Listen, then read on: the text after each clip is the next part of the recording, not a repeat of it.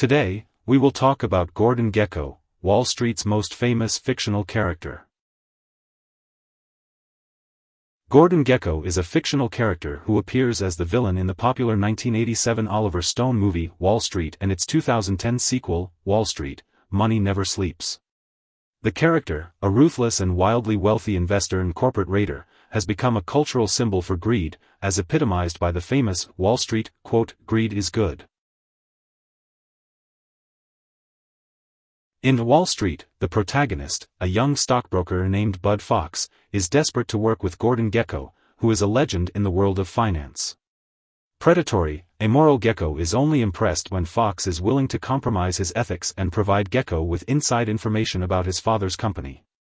Gekko makes Fox wealthy, but eventually, Fox regrets what he has done and turns state's evidence against Gekko, who is sent to prison for securities fraud and insider trading. The character of Gordon Gekko was not based on any one person, but rather on a composite of real-life financiers.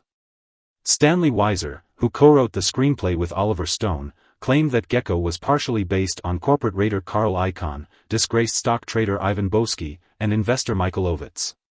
Gekko's penthouse office and elegant suits were modeled after those of art collector Asher Edelman.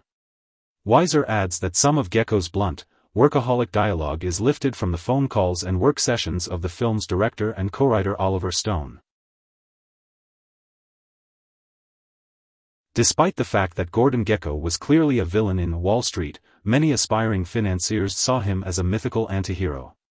They adopted the character as a role model of how to survive in the cutthroat culture of investment finances.